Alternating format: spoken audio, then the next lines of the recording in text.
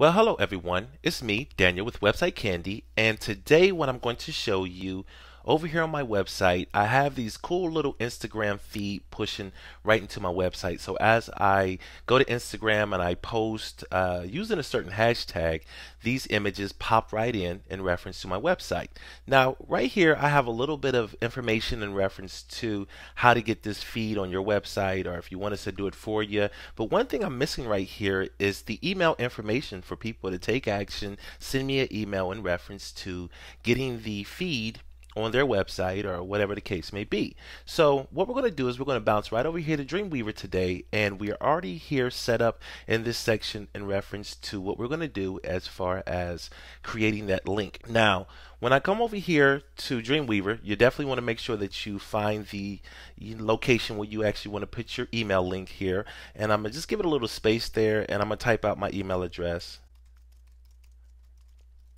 Okay, so I got my email address in there, and now what I want to do is I want to make sure that I make this link uh, user friendly. So what I'm going to do here really fast, I'm going to just show it to you in so many different steps and stages. So if you're not really all that familiar with Dreamweaver, you'll absolutely know exactly what to do in reference to uh, making sure that this link is clickable and people can actually click into it. So when I come over here, refresh my website, and I do have a callback, so it should take us right back to that section. There we go.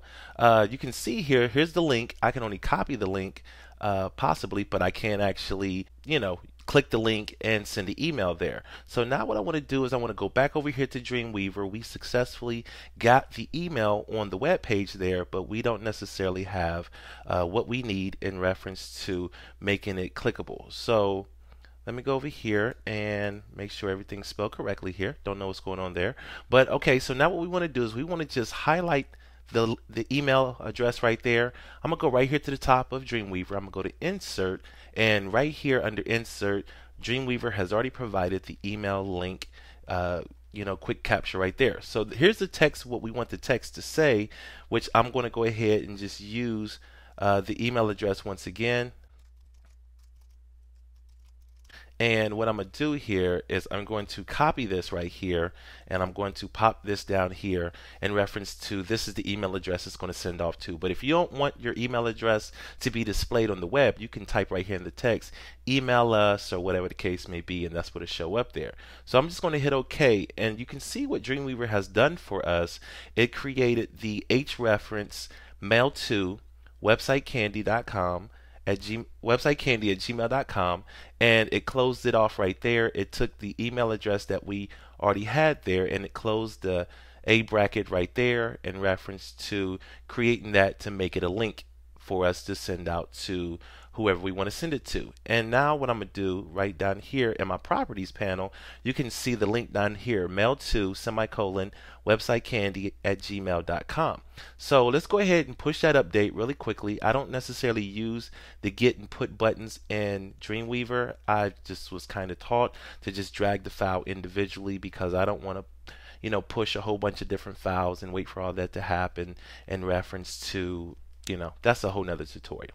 So what we're going to do here is now you can see where we have the you know our email address here and the link is black. I have my links that come in. I have them come in as black. And you can see here if I click the link there it's going to take us over and we're able to send the email to ourselves. And I already have myself my address book, so that's why that's coming up right there. But if I open this up right here and double click inside there, this is coming from, and you can see where it's, you know, it's being emailed to websitecandi at gmail.com. And like I said, I already have myself my address book. That's the reason why my name is showing up there. However, you know, and where I want to send it from, I want to send it from Daniel M. Portis.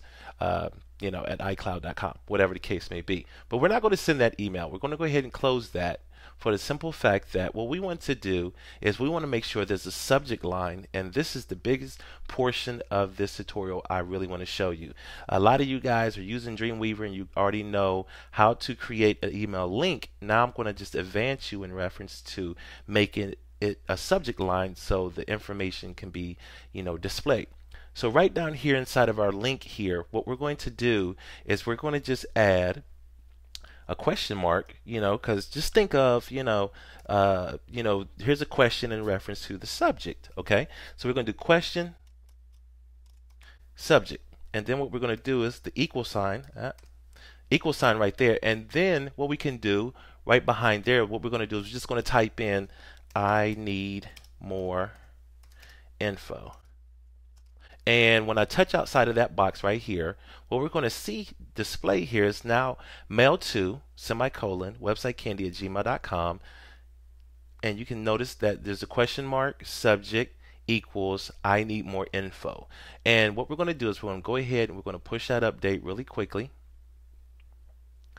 And you're going to notice what we have here is our subject is going to be within the email. Let's go ahead and refresh the page out. And like I mentioned, I do have the callback, so to take us back to that section there. Now, this right here looks exactly the same. It looks like nothing's changed. But when I actually click this link right here, and it goes and open up my default email client, you'll notice that right here it says, I need more info. So you can already have whatever you need right there inside the subject in reference to when your user is on your website, you want to make it really, really easy for them. Here's one thing that I tell every single one of my clients, and this is a rule that I live by. Never, ever, ever, ever, did I say never, ever? trust the user for the simple fact that sometimes people will send you information uh, they won't put anything here in the subject and they're talking about instagram and this that and the third and this that and the third and you're completely clueless like what are you talking about i don't understand where this email came from why you're sending it, what's going on, for the simple fact they didn't do anything in the subject. And if it's the information is already filled out, a lot of times people won't necessarily mess with it because you know it's already set up and ready to go. So when they send you an email, you should recognize the information that you put inside your website in reference to Dreamweaver right here to say, you know, I need more information, or you can say, you know, we can go ahead and change this real fast. We can just change it right here on the fly. We don't have to go down here to the little box. We can say message from website.